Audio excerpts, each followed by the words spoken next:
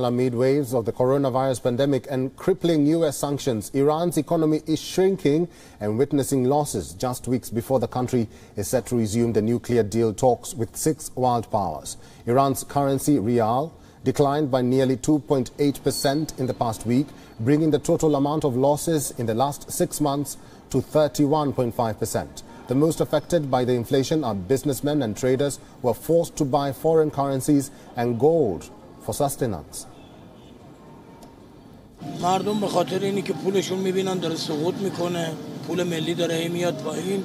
مجبور میشن بیان دلار بخرن و ارزهای خارجی حالا طلا. الان ما هفته به هفته شاید هم سه روز سه روز داریم تغییر قیمت ها رو مشاهده می‌کنیم. و این فردا مشکل واقعا انسجامش واقعا زیاد میشه که خودشون هم دیگه دستشون در بیاره و غیر قابل کنترل میشه در حقیقت. The slump in economy comes after the U.S. reimposed sanctions on Iran after the American exit from the 2015 nuclear deal. The Iranian currency lost nearly 70% of its value following the double punishment. The currency plunge has forced the central bank to act, pumping hundreds of millions of dollars into the market to stabilize the Iranian currency. Economists say dire actions are needed from the government to avert further crisis. اگر روند تورمی کشور ما و عدم تغییر روند بهرهوری ما عدم چابکی و چالاکی دولت ما رخ ندهد و دارایی ها و صنایع ما به صورت سودآور و مؤثر در اقتصاد ملی ظاهر نشوند قطعا این روند کاهش ارزش پول ملی و به تبع اون کاهش افزایش نرخ دلار ادامه دار خواهد بود. A former deputy of Iran's central bank criticized the conditions set by Iran ahead of the nuclear talks. Iran had sought the United States not to withdraw from the 2015 nuclear agreement and lift the sanctions. It is not just Iran. The economies of Pakistan and Turkey have also taken massive hits.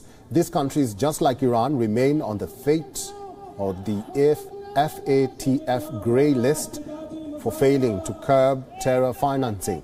Calls for Pakistan Prime Minister Imran Khan to resign have intensified amid the economic crisis and soaring prices. The inflation in Pakistan is the fourth highest in the world. Low productivity and high import dependency has caused the price inflation. The rupee closed at an all-time low at 175.73 rupees compared to the US dollar last week. Pakistan's currency has lost more than 13% of its value since May this year.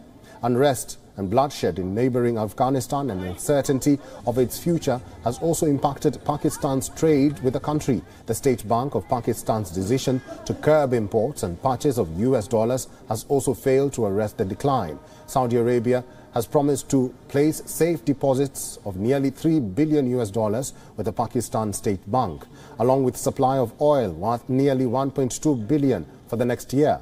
However, this is expected to be a temporary solution. Meanwhile, Turkey saw massive protests amid the country's budget presentation. The Turkish currency is the worst performer in emerging markets this year, along with a double-digit inflation. As per experts, the condition of the economy is propelled by President Recep Tayyip Erdogan's lack of policy credibility.